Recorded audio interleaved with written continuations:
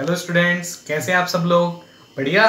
तो बच्चों, आज हम पढ़ेंगे फोर्स के बारे में। फोर्स के बारे में हम अभी तो बहुत सारी चीज़ें पढ़ चुके हैं। जैसे कि फोर्स की हमने डेफिनेशन देखी, समझा उसके बारे में क्या होता है। इसी तरीके से पुश और पुल भी समझा, उसके अंदर फ्रिक्शंस भी समझे हमने इफेक्ट्स ऑफ़ फोर्स भी देखे disadvantages and advantages of friction भी देखे।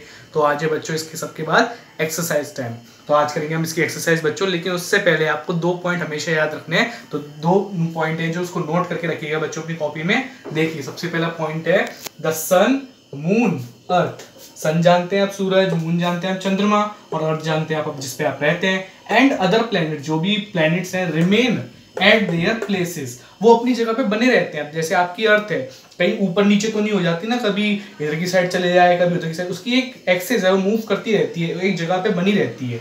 इसी तरीके से जो मून है, वो भी अपनी जगह पे बना रहता है, एक ऑर्बिट में। इस तरह सन भी और सन तो अपनी जगह पे है ही है स्टेबल और प्लैनेट्स भी अपनी अपनी जगह पे स्टेबल रहते हैं। एट देयर प्लेसेस अपनी अपनी जगह पे बने रहते हैं, ठीक है? अपनी ऑर्बिट्स में बने रहते हैं। बिकॉज़ क्यों ऐसा होता है? Because of the gravitational force उस फोर्स को क्या बोलते हैं? उस ताकत को क्या बोलते हैं बच्चों? ग्रेविटेशनल फोर्स ठीक है ना? कभी ऐसा नहीं हो जाता कि कभी वो, कभी आपको सूर्य दिखाई ना दे। हर दिन सूरज निकलता है, क्योंकि तो आपकी अर्थ एक कांस्टेंट स्पीड पे चलती रहती है, ठीक है ना? आपकी जो अर्थ है, वो हमेशा रिमेन्स कांस्टेंट रहती है, इसी तरीके से, क्योंकि ग्रेविटेशनल फोर्स की वजह से इसीलिए, ठीक है? If the earth has no has no force of gravity. अब आप भी तो खड़े हुए हैं ज़मीन पे। कैसे खड़े हुए हैं? ग्रेविटी की वजह से, इसी ग्रेविटेशनल फोर्स की वजह से। ठीक है ना? आप भी तो स्टेबल हैं। और अगर ये ग्रेविटेशनल फोर्स ग्रेविटी नहीं होगी तो आप भी कहीं उड़ जाएँगे या फिर आप भी कहीं ढंग से चल भी नहीं पाएँगे। तो if the earth has no force of gravity अगर इस अर्थ पे ग्रेविटी नहीं होगी all of us will be floating in the air तो भी हम तो हम क्या होंगे? एयर में फ्लोट करने लग जाएँगे। हम कैसे खड़े हुए हैं बिल्कुल अच्छी तरीके से?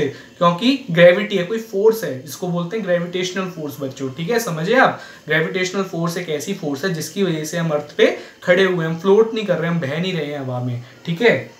इसी तरीके से फ़र्स्ट पॉइंट आप समझे, कैसे फ्लोट कैसे जो अर्थ है मून है, वो सब अपनी जगह पे रिमेन है कॉन्स्टेंट है। सेकेंड पॉइंट समझिए air and water offer the maximum friction बेटा, जो एयर होती है, जो हवा होती है, और जो वाटर होता है, पानी होता है, उसके अंदर सबसे ज़्यादा फ्रिक्शन होता है मैक्सिमम फ्रिक्शन फ्रिक्शन यानी रुकावट. सबसे ज़्यादा फ्रिक्शन होता है उसके अंदर. यानी सबसे ज़्यादा रुकावट होती है। आप पानी के अंदर अगर ठहरोगे तो आप नीचे, बहुत नीचे तो नहीं जा सकते हो। कुछ एक मिनिमम नीचे तक जा सकते हो। लेकिन आपको और नीचे जाना है तो आपको मशीनों की ज़रूरत होगी। क्यों? क्योंकि उसके अंदर रुकावट है पानी में। बहुत ज़्यादा फ्रिक्शन है। इस तरीके से हवा में बहुत ज़्यादा फ्रिक्शन होती है। इसलिए जो ऊपर जो उड़ने वाली और जो ज़मीन, नीचे पानी के अंदर चलने वाली जो शिप्स होती हैं सबमरीन्स होती हैं, और जो ऊपर एरोप्लेन्स होते हैं, उनकी जो बॉडीज होती है, वो कुछ इस तरीके से बनाई जाती है ताकि वो फ्रिक्शन को कम कर सके और अच्छे से चल सके। तो यही बताया गया है उसके अंदर कि जो एयर और वाटर है ऑफ़र करते हैं, वो आपको देते हैं सबसे ज़्यादा फ्रिक्शन मैक्सिमम फ्रिक्शन देयर इसीलिए ऑब्जेक्ट्स मूविंग इन एयर और वाटर और जो कि ऑब्जेक्ट्स जो भी चीज़ें चलाई जाती हैं किसमें? एयर में और वाटर में.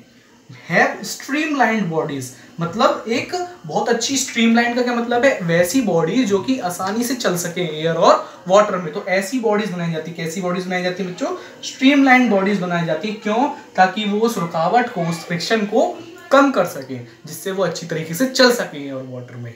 ठीक है? तो जो एयर में और जो वाटर में चलती हैं, जो बॉडीज उनको क्या बोलते हैं बच्चों? स्ट्रीमलाइन बॉडीज बोलते हैं। क्या बोलते हैं? स्ट्रीमलाइन बॉडीज उन उन ऑब्जेक्ट्स की स्ट्रीमलाइन बॉडीज होती है। क्योंकि देखा होगा आपने प्लेन प्लेन की कैसी बनाई गई है? इस तरीके से तलवार ऐसी तरीके से बनाई गई है, ताकि वो हवा को चीरते हुए आगे निकले। अगर हम सबमरीन जैसी बॉडी बना देते एरोप्लेन की तो वो क्या उड़ पाता? नहीं उड़ पाता। तो उसकी इस तरीके से बॉडी बनाई गई, उस तरीके से स्ट्रीमलाइन डिज़ाइन करा गया, उसका ताकि वो हवा में उड़ सके, ठीक है? तो बच्चों, उन बॉडीज को बोलते हैं स्ट्रीमलाइन बॉडीज तो इसके बाद देखते हैं बच्चों एक्सरसाइज इन दोनों पॉइंट्स को अपनी कॉपी में उतार के रखिए।